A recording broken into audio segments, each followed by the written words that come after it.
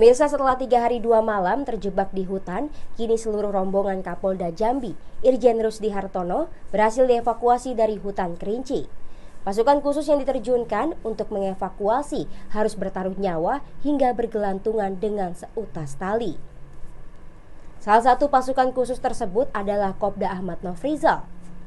Aksi heroik Kopda Ahmad Nofrizal bergelantungan dan berputar-putar di seutas tali sambil memegang erat Kapolda Jambi yang berada di tandu viral di media sosial.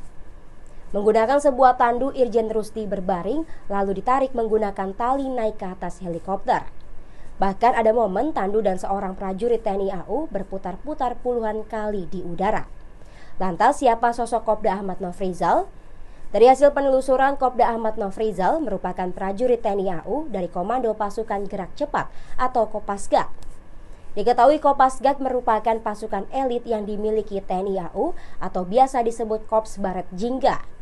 Ia berasal dari Batalion Komando 462 Palung Geni.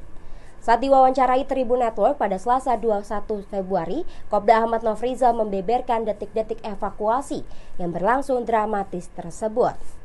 Dia berasal dari Batalion Komando 462 Pulang Geni.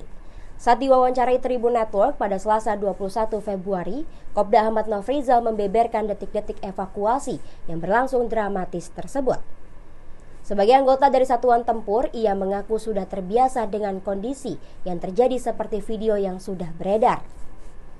Ahmad Nofrizal menuturkan dirinya tak mengalami kendala baik saat proses evakuasi maupun setelahnya. Meski demikian, proses evakuasi rombongan Kapolda Jambi memang butuh upaya lebih. Sebab kondisi medan di Bukit Tamiai, Kerinci yang cukup ekstrim. Disebutkan bahwa ketinggian dari daratan ke helikopter sekira 75 feet. Kini setelah 54 jam berada di tengah hutan, Kapolda Jambi, Irjen Rusdi, berhasil dievakuasi dengan aman.